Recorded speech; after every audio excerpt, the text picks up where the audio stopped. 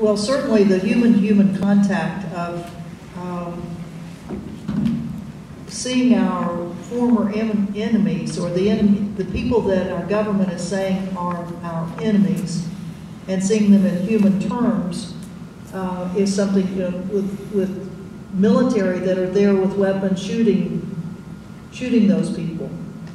Those of us as civilians that are back here, what are we doing to kind of understand, to, to know some of these people? Um, in Iraq and Afghanistan, there are certainly exchange pro, well, not exchange programs, but there have been programs of trying to bring Iraqi young men and women here so that we can get to know them. Afghan young men and women. Kathy has been helping with a uh, group of Afghans for many years now.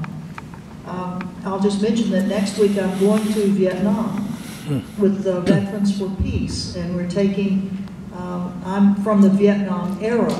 Uh, I did not serve in Vietnam when I was in the military, uh, but certainly the, the Vietnam War was going on, and so we're taking a group of Veterans for Peace to Vietnam to be able to talk with our former enemy.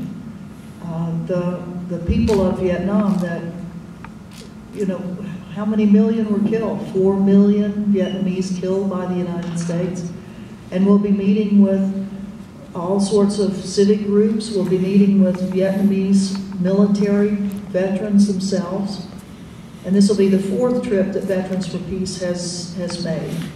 So it is important that we, um, we look at whom our government calls enemies and that we as humans have sympathy toward people who, just like us, we, I mean, as civilians, um, you, you don't really think that you, you're a part of that governmental process.